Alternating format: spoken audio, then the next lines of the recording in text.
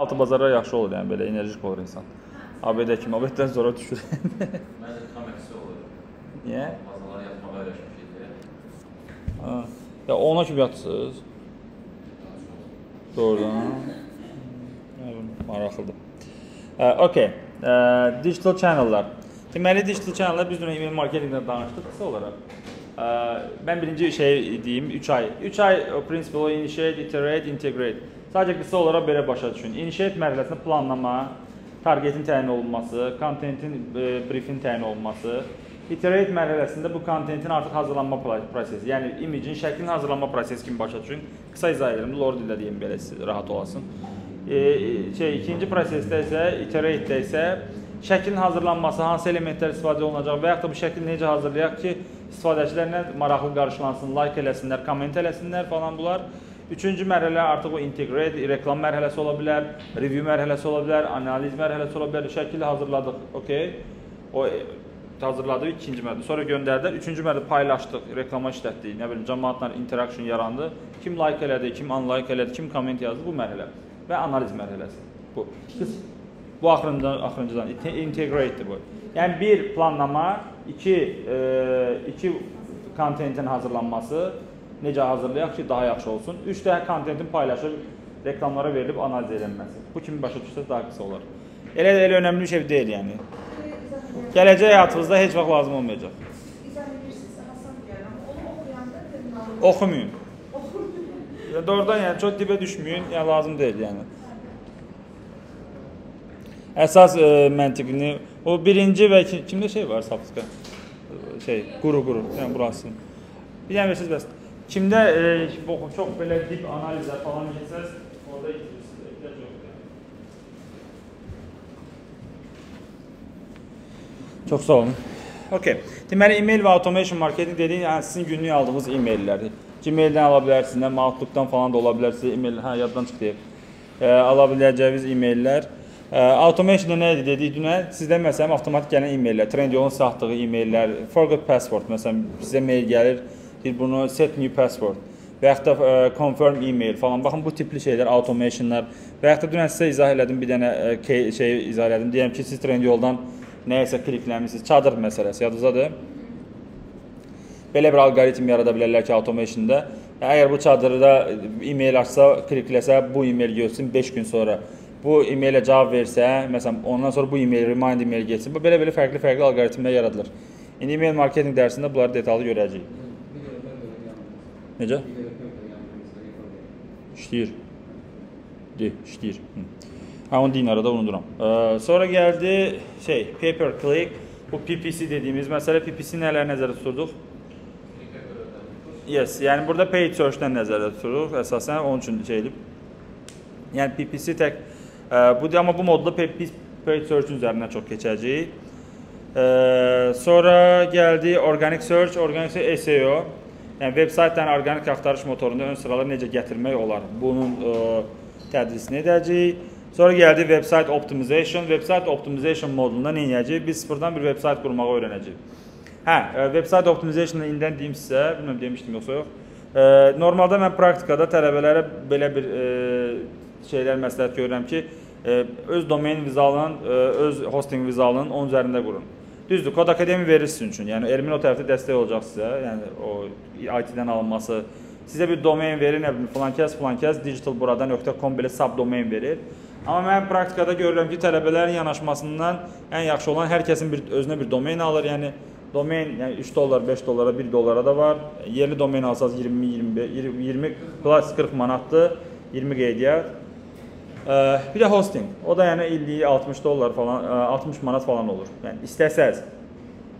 Çünki belə bir e, yanaş, belə bir şey vəziyyət olsa çox yaxşı yerdir. Sizin öz veb saytınız olacaq. İndi məsələn bu taskdakı taskın mərkəzi nə olacaq? Bu taskda deyəcəm ki, sizə bu modulda öz bir biznesinizi və ya da xəyalınızda olan nəyisə şey describe edeyim mənə. Bu biznesiniz ola bilər, bu məsələn gələcəkdə blog saytı qurmuş ola bilərsiniz, gələcəkdə e-commerce saytı ola bilər, fərqli-fərqli biznesləriniz olar. Və ikinci mərhələ istəyirəm ki, bu həmin bu o, biznesi domenə və veb sayta dökək. Öz veb saytınız olanda, öz domeniniz olanda, öz hostinginiz olanda daha rahat idarə, daha rahat kontrol olur. Bundan sonraki period social media, bunlara social media açılması, bunlara nə bilim Google reklamlarının verilməsi, bunlara SEO-nun başlanması, bunlara nə bilim bir email marketinq falan filan. Çünki e, öz e, produktunuz olduğu üçün e, siz daha yaxşı tələbkar, daha həyəcanlı olursunuz. Yəni praktikada görürük çünki mən hətta uşaqlardan falan gördüm artıq dərsin sonunda nə bilim kliklər alan kim, searchlar falan yerdən klik alanlar kim, yəni nə bilim AdSense qoşanlar kim, bax çox maraqlı, həyəcanlı qarşılanırlar. Seçim sizin də opsiondur, bu bir məcburiyyət deyil. İstəsəz buradan da götürə bilərsiniz. İndi ola bilər bəziləri biznes ideyamız var. Elə buradan başlayaq biznesiniz axıra kimi qura gedək. Bunun üçün deyirəm yəni. Bu veb sayt e, biznes yəni ağzına pul gəlməsin. Bloq da ola bilər bu yaxşı. Yəni bloq saytınız ola bilər. Nə bilim xəbər saytınız ola bilər. E-ticarət saytınız ola bilər. Nə nəsə nəsə özünüz bilərsiniz. Amma WordPress üzərindən quracağıq, onu göstərəcəm. Necə domen alınır, necə hosting alınır, hostinglə domen necə inteqrasiya edirik, onları göstərəcəm. Sonra WordPress admin panelinə girəcəyik, veb saytı hazırlamağa girəcəyik. Dən pluginlər falan hamısını izah edəcəm. Hər kəs özünün bir veb saytı quracaq. Ondan sonra taskımız odur ki, hər kəsin bir veb saytı olmalıdır. Okay? Ondan sonraki proseslər hər şeyi o veb saytın skriptlər hazırlayacağıq. Nə bilim taglər, tracklər hamısı o veb saytın içinə eləyəcəksiniz. Çox yəni e, sizin üçün yaxşı olacaq çünki bir də niyə şey deyirəm, burada bəzən IT-də problemlər olur. Çünki normaldır, nə qədər tələbə var. O birinin saytı açmır, birinin saytı nə bilim şey olur. E, expansion olur, atır falan, onu düzəlt. Zaman 2 falan o müəllim o belə IT, ona görə deyirəm, rahat olsun sizə. Tak tak işimizi aparaq. Yəni vaxtınız var, düşünün, optionaldır bu da yenə deyirəm, optionaldır, qərarsındır. İstəməsəz buradan da IT verəcəksiniz. Okay, hə, bu modulda biz website optimization e, sayt qurmaqla paraleldə həm də biz nə öyrənəcəyik? Web saytı yəni, necə dizayn olunmalıdır? Web saytın istifadəçi təcrübəsinə uyğun dizayn olunması. E, istifadəçi təcrübəsini dünən mən sizə qısa izah elədim, göstərdim sadəcə necə bir istifadəçi təcrübə. Hər kəsin bir istifadəçi təcrübəsi var. Hər kəsin bir navigation path deyirik ona. Naviqasiya yolu var. Okay? Mən dünən hava durumuna necə baxdım məsələn də, yəni rus dilinə çevirdim falan filan getdim. Siz məsələn birbaşa girə bilərsiniz. Adam var gedər falan kateqoriyadan tapar, çıxar, gələr, elə tapar. Hər kəsə bir experience var. Və bu işdə bizə lazım olacaq şey odur ki, düzgün ə, təcrübə qoyulsun ortaya və o təcrübə əsasında düzgün dizayn verilsin. Yəni siz, baxın, məsələn, e-ticarət saytlarını deyək. Məsələn, nə deyək? Trend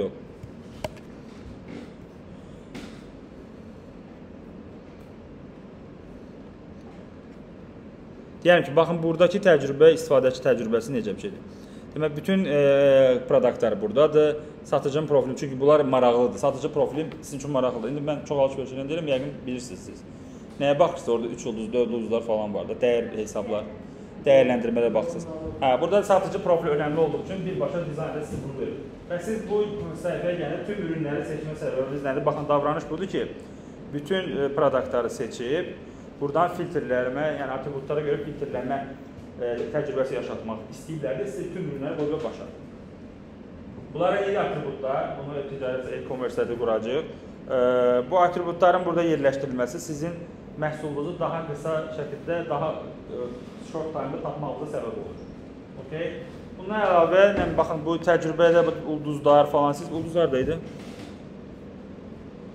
Hə, baxın, bunların burada olması falan filan. Bunlar hamısı istifadəçi təcrübəsidir. Yəni istifadəçilər 4 ulduz plası tez-tez seçir deyə. Çünki niyə gəlir aldıqları malın daha keyfiyyətli olmasını istəyir falan kimisinə belə. Və bunlar hamısı çalışılmalıdır ki, çalışırlar ki, hər şey sizin göz önünüzdə olsun. Okay? Məsələn, mən indi çox istifadə edən deyiləm. Bir dənə siz istifadə edənsiniz də yəqin ki, də sifariş verirsiniz. Bir şey deyən onu tapmağa çalışaq məsələn. Yəni azından mən çalışıram. Görək məsələn o təcrübə necə yaşanır. Nəsə var burada belə bilmə, hər kəsin bildiyi bir şey olmayan. Yəni mən bilmirəm. Yaxşı mən istifadə edən deyiləm də. Mən evdə kimsə deyil. Bir şey maraqlıdır. Siz ulduzları göstərdiniz. Dörd ulduz, dörd ulduzdan yuxarı, Aha. bir ulduz. Yəni o bir ulduzu qoymağı nə mənası var? Yəni ki, şey, az review də. Seçməliyəm. Həm pis mal- Yo, yo. Bir ulduz az reviewdur. Nədir? Yox. Daha aşağı reytinqli review. Aşağıda reytingdə olan. Mən onu bilirəm ki, seçirəm. Mən əksinə yuxarı bir. Bir verib də seçim. Ola bilər riski tapmaya bilərsiniz produktı. Bir ulduzlara da baxa bilərsiniz. Belə təqsimətdə istifadə edirlər. Sizin tam deyə bəyənirlər 5 ulduz verirlər, amma neqativ əslində o 5 ulduzdur. Bilmirəm valla yəni siz ola bilər. Yəni fake şeylər olur, hə, ola bilər. Hamı ki, bu neqativ, bunu almasın. Hə. Əgər hər hansı məhsul olanda orada bir ulduz varsa, bunu almaq Daşınır. Okay. Baxın, bu dizayner elə bu fikirləri alıbdır. Məsələn, sizdə dediyiniz o bir ulduz, o Bir ulduz, iki ulduz. İndi bu 4-5 qoymur da. Yəni reytinqə görə e, Onsuz da o ulduzları mən görürəm, mən sunu görənlər. Onu e, filtrə qoymağın nə mənası var? Necə sizin üçün mənası var da? Siz mal seçəndə daha sürətli mal seçirsiniz. İkinci niyə bir ulduz deyirsiniz, e, baxmırıq da niyə qoyublar deyirsiniz də yəni də. O da satıcının biləsiniz deyə qoyur. Yenə də sizin üçün dedilər yəni. Çünki digər istifadəçilərin Yəni bu işdə məncə yoxdur da. Yəni çünki hər kəs üçündür. Obyekt, yəni hər birimiz bir personayıq, başa düşürsüz? Sizə görə absurd gələ bilər. Məsələn, ona görə absurd gəlmir, onlara görə. Bu ona görə bu təcrübə, istifadəçi təcrübəsi majority-lər nələrdirsə, nələr needdirsə çalışır öz göz önünə çat, çat, gö göstərilsin, qoyulsun. Ə, Və yaxud da important buttonlar dediyimiz, önəmli buttonlar dediyimiz şeylər həmçinin ön sıraya getirilir. Məsələn, bir o biznesin obyektiv nədirsə, deyəm kargo səhifənin obyektiv nədir? Məsələn, hər hansı bir kargo deyin. Starex.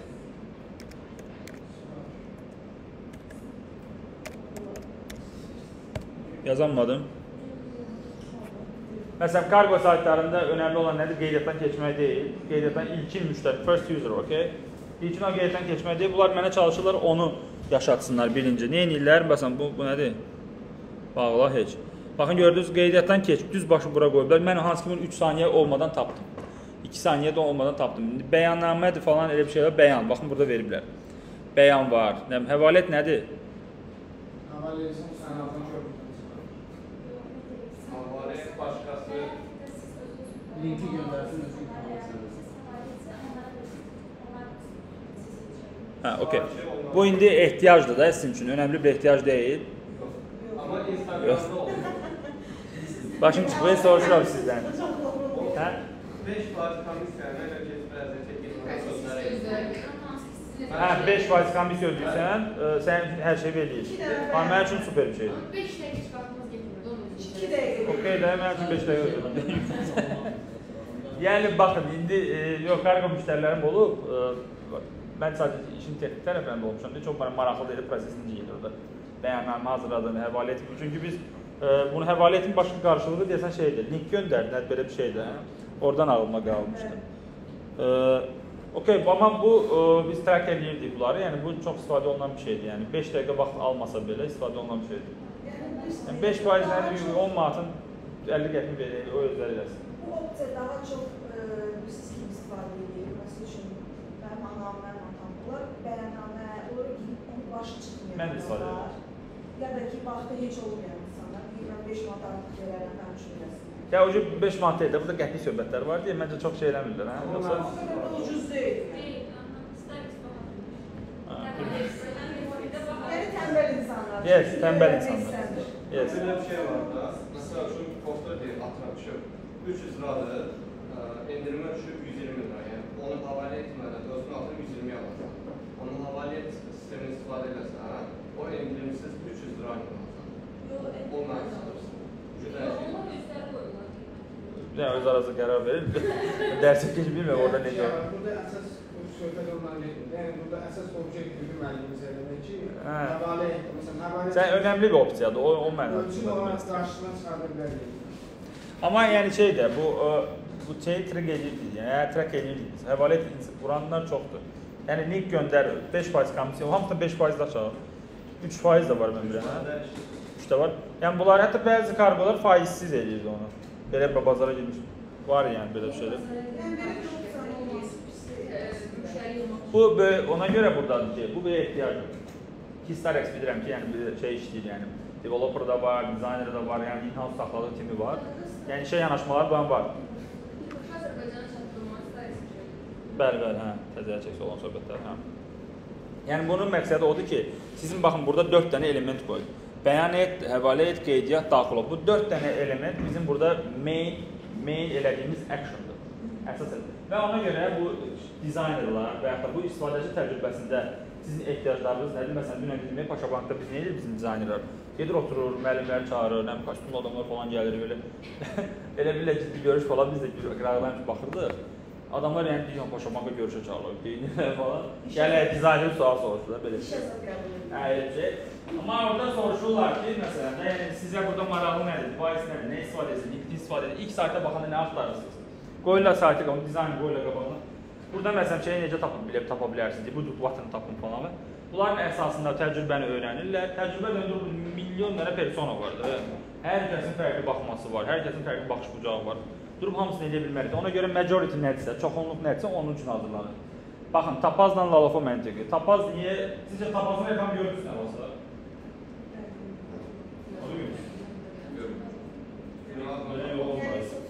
Yəni mən 2 2 2 3 il buralarda görməmişəm reklam belə. Ondan əvvəl olubmu? Mən bilən olmayıb yəni onu. Yəni hərəsi Meta-da, Facebook-da, Instagram-da reklamı görməmisiniz. Google-da da görməmisiniz. Baxın, Tapaz Lalafo, Lalafo o vaxtdan yadımdadır ki, izləyirdim Azərbaycanda reklamlar çəkdirir. Lalafo bazara girəndə nəm Röyənə reklam, metroda reklamlar falan. O vaxtlar yadımdadır ki, gəl birdən görürdüm bunları. Amma məsələn Tapazı heç vaxt görməmişəm. Tapaz niyə tutdu, Lalafo tutmadı? Bax bunun səbəbi birbaşa istifadəçi təcrübəsinə əsaslanır. Tapaz və Lalafo ə, xarici investisiyadır və mən bilən marketoloqlar falan xarici idi onlarda deyəsən hə? Belə bir şeylərdir. Yəni baxın ə, demirəm ki, xaricdən eksport marketoloq superdir, amma söhbət odur ki, buranın culture-ına lokalizasiya edə bilmirsə batır. Ki Lalafo batdı. Ə, məsələn batdı deyə bilərik də Lalafoya, hə? Yoxsa yaşayır hələ də? İşləyir. Çünki nəyə görə deyirəm batdı? Mən nə axtarıram? Məsələn, SEO üçün axtardığım şeylər girir. SEO-larını çox yaxşı işləyiblər zamanında. Girsən produkt yoxdur. Lalafon mən bilən rayonlarda daha yaxşı işləyir hələ ki. Bakı bazarında tapazdı. Tapaz e, istifadəçilərə simplelığı gətirdi. Baxdı ki, Azərbaycan istifadəçilərinin ə, intelligence hansı leveldədir? Baxdıq biz high deyilik də, indi açıq danışaq high deyilik. Yəni bu social mediadır, nə bilim bu şeylərdir, TikToklar falan son 5 ildə daha belə aktiv şəkildə bazara girib.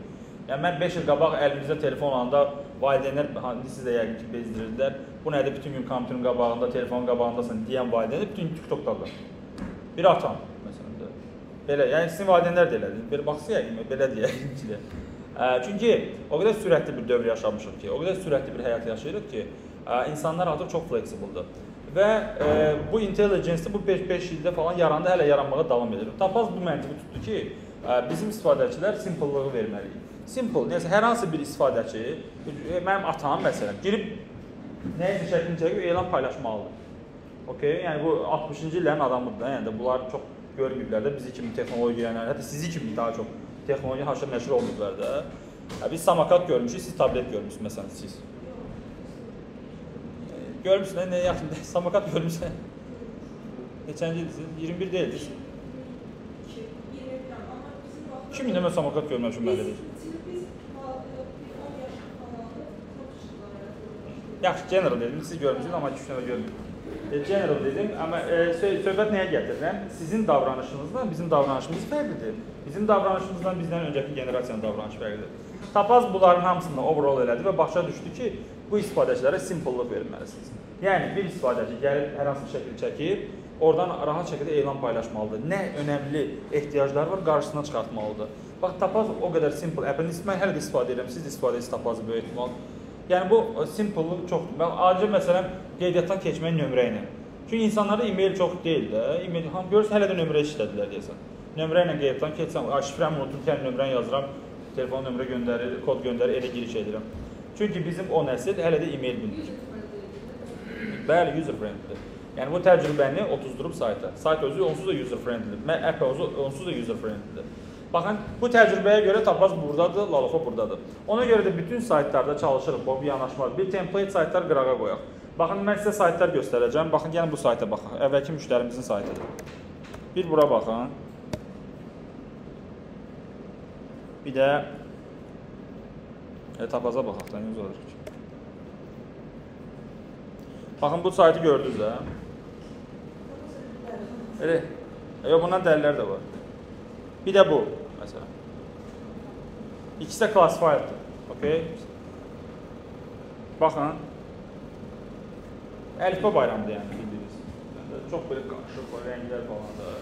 Ə, amma burada məsələn ən azından bu kontakt reklamlarını falan bu beyninizdən çıxardın. Ən azından bir simplelıq var, bir struktur, bir layout var, okay?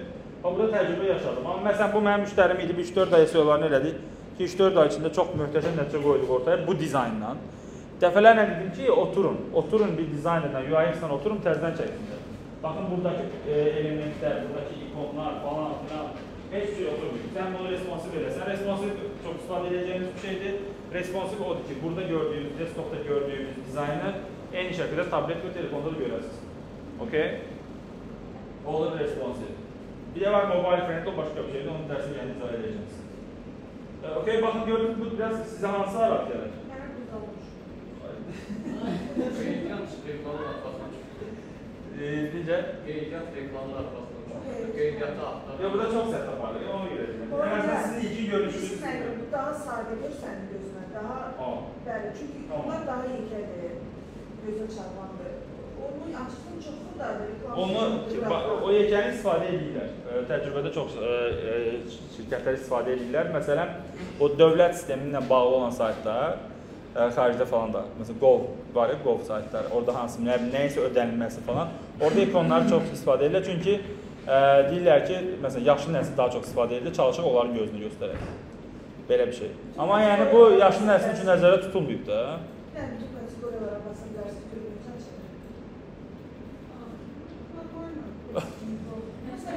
Okay, indi normal dərs tutaranda deyəcəksiniz bu nədir? Məsələn, okay. Hələ veb saytı gəndə deyəcəksiniz. Ə, amma məsələn burada kataloq məsələn bax yaradıblar. Görürsüz bax burada daha rahat naviqasiya yaradıblar. Çünki nə nə yaxud da nəqliyyat maşın falan və yaxud da daşınma ev ev almaq istəyirəm, bağ almaq istəyirəm, ev bağ girdim buradan hər şey tapdım. Şey, kateqoriyalar alt alt alt kateqoriyalarla bizi daha da filtrləyir və düzgün naviqasiyaya gətirir. Okay. E, bunu e, website optimization dərsində daha rahat incələyəcəyik. Çox çox önəm daşıyır. Logolarda qırmızı rəng olan şirkətlər e, daha çox belə buraya da gedirlər. Yəni o o ton məsələsi çox olur orada. Hər bir şirkət ə, ilk başda brand book olmalıdır. Tapazın brand booku var, amma bunun yoxdur. E, Yoxdur bunun. O, hər halda yoxdur. Yəni brand book bir art director olur. Normalda normal bir dizayner gəlir brand book hazırlayır. Günün rənglərinə, sizin müştərinizə, sizin produktunuza uyğun bir rənglər, bir brand book olur. Bu rəng kodlarından istifadə edilir. Bax, hər böyük korporativ şirkətin bir brand book olur. Məsələn, Paşabank. Paşabank ə, Instagramdan girsəz o şeyi görərsiniz də. Rənglərin ə, ahəngini görəcəksiniz. Yaşıl rəng, ağ rəng, hə? Yes, korporativ üslub, yaşıl, ağ və arada qırmızılıq belə gec ortaya. Çünki bu brand bookda olan özünə hiss etdirən rəqəmlərdir. Oradan, oradakı yaşılın hər hansı bir kodunu heç vaxt dəyişə bilməzsən. Orada o loqonun duruşunu, loqonun hər dur harda duracaq, hansı pikselə qədər hamısı brand bookda yazılıb. Onu dəyişə bilməzsən. Okay, yəni Paşabank loqosunu tak ortaya qoya bilməzsən. Bəlli bir yeri var. Bu böyük korporativ şirkətlərdə brand book məntiqi ilə işləyir. Ona görə məsələn o var. Tapazda da var, bunda 100% yoxdur. Yəni brand book, yəni çünki rənglər bir-birini follow eləməlidir. Rənglər bir-birini follow up eləməlidir. Okay? Ona önəm verilir. Çünki artıq bu dövrdə, bu dövr o qədər bizdə variable var ki, elə özünüz məsələn bunun 1000 dənə alternativ taparsınız. Siz artıq orada seçicisiniz. Okay? Yəni biz biz seçirik. Yəni nə yaxşıdırsa, nə gözümə daha yaxşı oxşuyursa, ona görə mübarizə bunun üstündə gedir. Yəni UX-in bu qədər bazarda bu dəqiqə hype olmasının səbəblərindən biri budur. Okay? Əvvəllər məsələn saytların dizayn görmüşdünüz, vaxt bizdə falan var idi, yadınızdadır o saytlar. O metro, şey avtobus arxalarına yazırdılar ya biz, siz, o bizlə, vaxt biz, belə şeylər yazırdılar. Oradakı dizaynlar yadınızdadır. Yəni o dövrdə saytlar o dizayn idi onsuz da. İndi artıq o dövr deyil. Yəni artıq insanlar baxışa düşür ki, çox sürətli həyat yaşayırıq. Başa düşür ki, çoxlu-çoxlu sourceumuz var. Yəni bir dənə alternativ, min dənə alternativimiz var və o alternativin içində düzgün bir mövqe almaq üçün hər şeyə önəm verilir. Həm dizaynına önəm verir, həm digitalına önəm verir, həm brand bookuna önəm verir, həm nə bilim onun paper bookuna, hər şeyə önəm verir. Okay? Ona görə çalışırlar digitalda da keyfiyyətli bir asset olaraq qalsın. Varlıq olaraq qalsın digital tərəfdə, okay? Ə, sorry, sorry.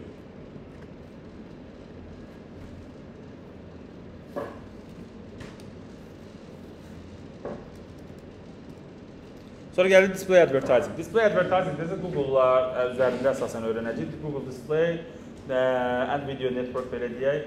YouTube-da gördüyünüz reklamlar və yaxud da hər hansı bir saytda gördüyünüz ə, bannerlər falan, Google bannerları, bunların necə hazırlanır, bunlar necə optimizasiya edilir, necə ə, düzgün obyektivlər tapılır, necə kütlələrə çatdırılır, bunları öyrənəcəyik. Display advertising-də çox rahat, məsələn, ayrıca tapazdakı Tapazda baxın bu qıraqda çıxanlar kontakt home şəkilləri və yaxud da nə bilmək bu mənim saytımdır. Sonra buna baxaq. Burada gördüyünüz Google reklamları. Baxın burada görülən bu reklamlar görürsüz. Hə, bax bunlar hamısı Umiko falan və bunlar hamısı Google Display-dir. Google Network reklamlarıdır. Burada gördüyünüz reklamlar falan hamısı Google-dur. Ee, görürsüz baxın bu yuxarıda online course, saat nə bilim, bir dənə online burada da var. Yuxuda evdə elan görmək məsələn girdik. Baxın burada falan filan bir məzlanı ikinci hədiyyə. Haradır bura? Bir mənzil ikinci hədiyyə. Hə, nə? Gümüş. Hə. Baxın bunlar isə Google reklamlar sayılır. Google Display Network deyirik. Bu isə Google deyil. Bunlar daha çox native reklamlar sayılır. Bunlar bəlli bir ə, şirkətlər olur bazarda. Ə, məsələn şey, dünən nə dedin sən?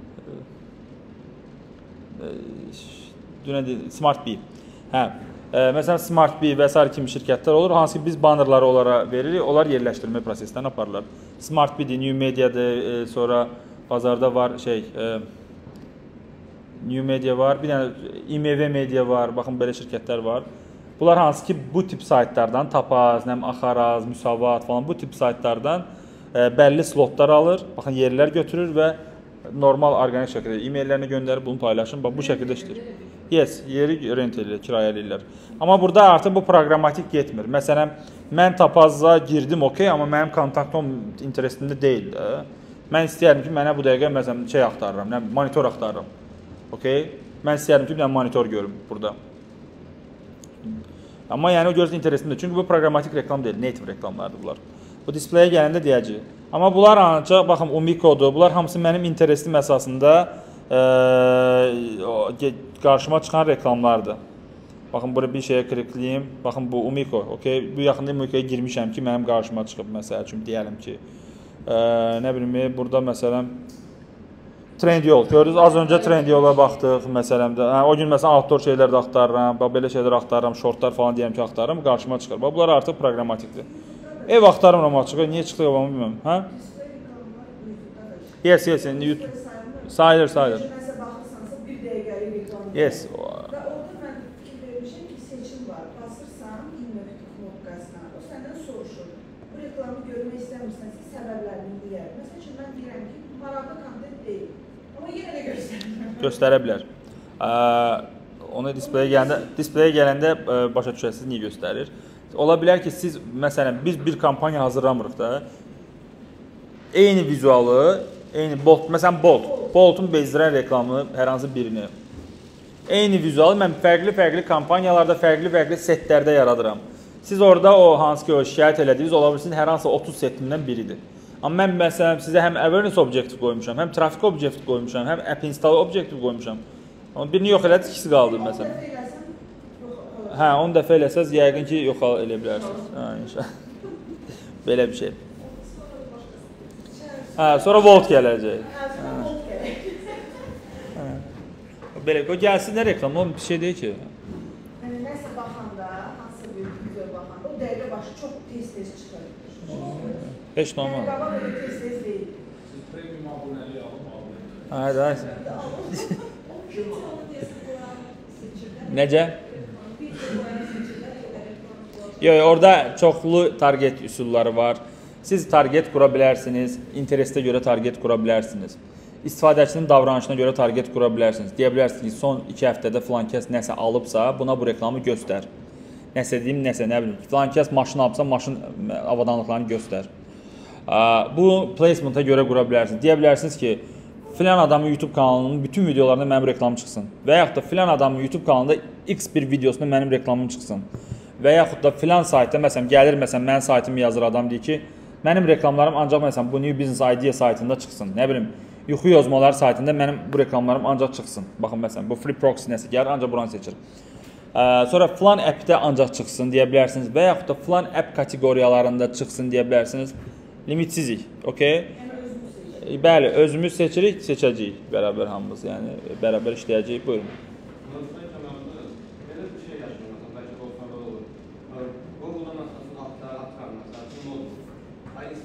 O notebooku görürsün. Birazdan da hekayələrdə bir e, notebookun satış şeyləri gəlir. Və yaxud da WhatsApp-da kiməsə yazışanda notebook alarsan, notebook. Olur, olur. Avtomatik Instagramda, Facebookda bir reklamlar gəlir. Onların qəribəsi var. Harası sürət edirsiniz. Bütün ayda bu sushi. Voice search, voice search. Qəribə deyil, niyə normaldır? Bu şeylər qəribə gəlməsin sizə. Bu günümüzün həyatı ki, onların biz şey içində olacağıq biz bu gündən sonra. Yəni o söyləyən insanlardan biri də biz olacağıq. Okay? Yəni də narahat olmayacaq.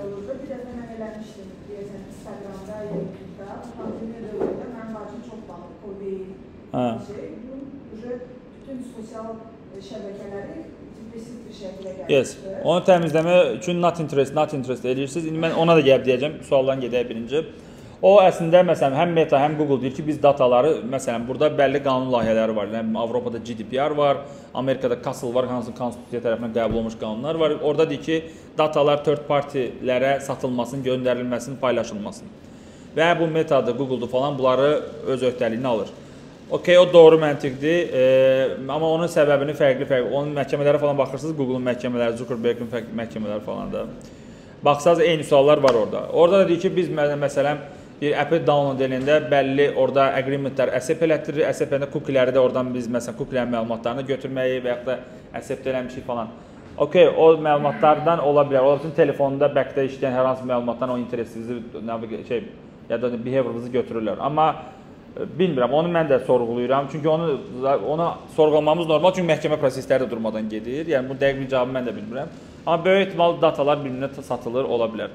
Çünki eyni prosesi dəfələrlə məhkəmədə də bu sualları verirlər. Mən deyim metada reklam görürəm, niyə Google-da çıxır? Və ya Google-da gördüyüm şey niyə metada gəlir? Yox deyir ki, biz ona görə backdə işləyən ə, ə, ə, bəzi toollara görə, bəzi pluginlərə görə və yaxud da veb saytın cookielərinə görə hərəkət eləyirik falan. Pixel qoşurlar axı saytlara. Deyir pixel qoşmuşuq, oradan cookielərdən götürürük falan. Hər cür variantlarla bir cavab verirlər, amma yəni datanın satılıb satılmamasını heç kim bilmir. Yəni satılsa da mənə deməyəcəkdir. Zamin satırıq, bağışla deməyəcək. Yəni ona görə ola bilər. Yəni mümkündür. Sizin sual isə ə, feed necə təmizlənir? Baxın, alqoritm tərəfində Instagramın və TikTokun çox ə, fərqli bir alqoritm yanaşmaları var. Ə, məsələn, o dediyimiz o Covid dövrü, müharibə dövrü falan filan o uzun müddət məndə də məsələn baxırdım ki, o Discovery-də falan göstərir. Hə, eyni şeylər çıxır, eyni şeylər çıxır. Ə, Məsələn, TikTokda o şey möhtəşəm tənzimləri, məsələn, TikToku bir çox adam bizdə istifadə edir. Yox, Azərbaycanda deyil, nə bilim, mənasız adamlar, səviyyəsiz adamlar girir. Qəbul edirəm, səviyyəsizlər də var. Ə, Amma məsələn mən TikTokda nadirən Azərbaycan görürəm. Çünki not interest, not interest bir həftə ilə məşğul oldum bundan. Yerli lokal digital creator, yerli lokal hər hansı bir creator, hamısını not interest elədim və mənə çıxmır. Və mənim ə, sorry, mənim interesimə nələrsə onlar çıxır. Xaricdən möhtəşəm digital creatorlar var çıxır və TikTok çox-çox möhtəşəm kanaldır, biləsiniz. Buyurun. Yes, alqoritm elə təsəvvür. Ona görə, ona görə yaxşı nəsil. Yes, yes, yes. Amma Instagramda yo baxın. Ə, mütləq baxın, çox möhtəşəm şeylər öyrənəcəksiniz. Mən özüm belə günün birində hələ də çox şey öyrənirəm TikTokdan. Çünki niyə məlumatı short, qısa bir periodda sənə çatdırır, yormadan, okay? Dur bloq oxumağı istəmirsən, otur bir məqalə oxu demir, get araşdır demir sənə. Qısa bir video ilə sənə izahını verir və sən məlumatlanırsan. Yəni tez informasiya qəbul edirsən. Amma Instagramda o proses bir aylar alır. Yəni e, o. Girirsiniz, hə, not interest, not interest.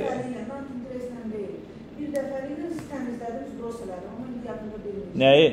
Instagramda girdim, nastrokalarda baxdım. Hə, hə, settingsdə var. Olar. Olar, olar. Yox, təmizləyər, amma yenə o eyni şey verə bilər. Amma mən sırf o kateqoriyanı not interest eləmişəm deyə vermir. Vermir də nasıl? Yox, o da lazımdır. Dünyanın sonu bilmək lazımdır nə vaxt görək də. Hə. Belə. Ə, sonra siz nə sual verdiniz? Yox sual. Nəsə dediniz? Hə, search-dən dediniz, aha. Yenə TikTokun məntiqi odur, yəni search-dən o ə, o dataları götürür, ona uyğun sizə kontent verir. Siz bir kontent üzərində nə, nə qədər çox reach, nə qədər çox ə, engagement eləsəz, çalışır o kontentləri verir. Ona görə bizim yaşlı nəsil valideynlərimiz sevir. Scroll edir durmadan. Eyni şeyi görmək istəyir axı. Siyasət, o bunu söydü, bunu görmək istəyir, ona görə sevirlər. Və bu dəqiqə yaşlı nəsillərin dilində var. O gün TikTokda yazmışdılar, söhbətlər zadlar var. Bəlkə diqqət eləyərsiniz də.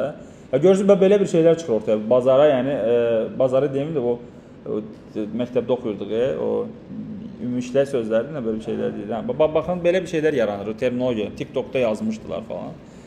Çünki bu alqoritm çox möhtəşəm dizayn olunub. İndi bilmirəm, TikTok bəlkə ə, yenidir Instagrama görə. Çünki Instagram da zamanında məsələn paylaşımlar falan eləyirdi, yadınızdadır. Bir dənə paylaşımı yarım milyon reach alırdım, amma indi eləyə bilmirəm. İndi məntiqi dəyişibdir. Çünki məntiq artıq daha çox like-a deyil də, məntiq artıq daha çox ə, başqa deyər engage impression-a da deyir. Yox. Məntiq artıq daha çox ə, kommentə, share-ə, save-ə. Çünki həqiqətən məntiqlidir, doğru olandır. Yəni sən bir insan həqiqətən çox maraqlısı save verirsən. Çox maraqlıca dostluğa göndərsən, çox maraqlı ca cavab yazmaq istəyirsən. Amma like artıq o bir reaction idi də bizdə bir default bir reaction idi. Like, like, like. Dostum da like, o da like. İndi. İndi e, sənin o postun, sənin o kontentin daha çox impression, daha çox interaction alma səbəbi like deyil. Daha çox o biri digər engagement metodlarıdır. Yes, yes, yes, yes, yes, hamısı, hamısı. Yəni like o qədər önəmli deyil. Yəni onu demək istəyirəm. Əvvəla like-a görə idi. İndi gözlü like çox bağlı çoxsun da, yəni heç bu artıq o dünya yox. Bu dəqiqə ən çox user TikTokda, Instagramda falan. TikTokdadır? Yox, elə Instagramdadır.